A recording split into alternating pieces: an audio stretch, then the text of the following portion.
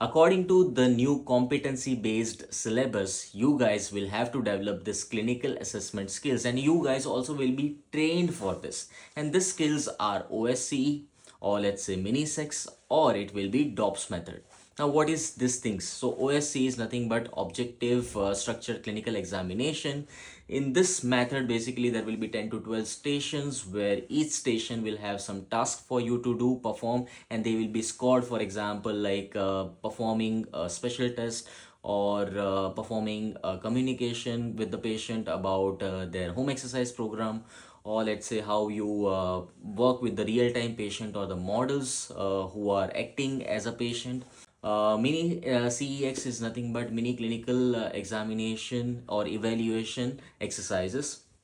In this also, uh, direct observation will be done for the patients when you are talking with the patient or communicating with the patient or when you are taking assessment of the patient and the real-time feedback will be given by the observer as well as your faculties so that you learn the real-time skills DOPS is also direct observation method of uh, teaching you the clinical skills. In this also it is almost similar to the mini-CEX method but in this also like the evaluation will be done point wise and this way also again you will develop your clinical skills in a much much much better way.